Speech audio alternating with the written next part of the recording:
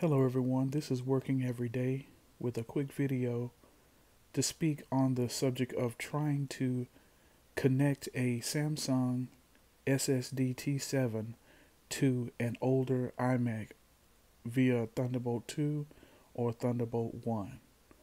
I bought this adapter, this Apple adapter that is Thunderbolt 2 to Thunderbolt 3 in hopes that it would work with the USB 3.2 Gen 1 or USB 3.1 Gen 2. And what the result of this has been is that the older iMac does not recognize the device. There must be something about the conversion during this adapter that does not um, recognize the USB 3.1 Gen 2 or USB 3.2 standard, and it is not being recognized by the older iMac. However, interestingly, if you use a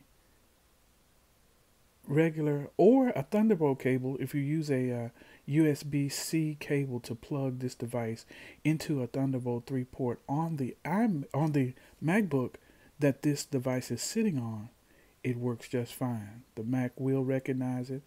Maybe the the ports on the new MacBook Pro have both the USB 3.2 um, capability as well as the Thunderbolt 3.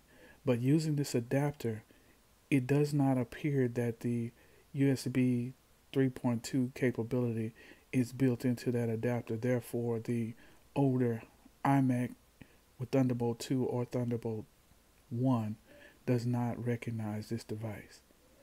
I hope this helps someone, hopefully prevent them from spending money and time trying to get this to work as I did.